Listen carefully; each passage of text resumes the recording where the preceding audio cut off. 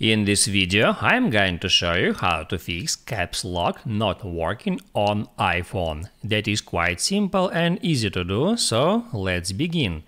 And uh, now I'm on my Notes app and here if I start typing and I want to use caps lock, all I have to do is just double tap on that shift button to enable caps lock mode. But here, as you can see, if I try to use caps lock mode, it doesn't work. And now let me show you how you can easily fix that.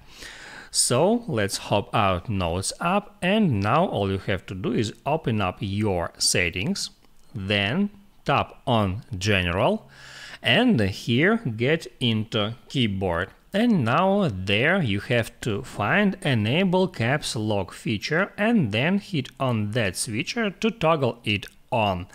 Now you can go back to Notes app and uh, here let's try to use caps lock just double tap at shift button and now as you can see caps lock mode now works. To disable it just hit here at shift button once. I hope it helps you guys, so don't forget to like and subscribe.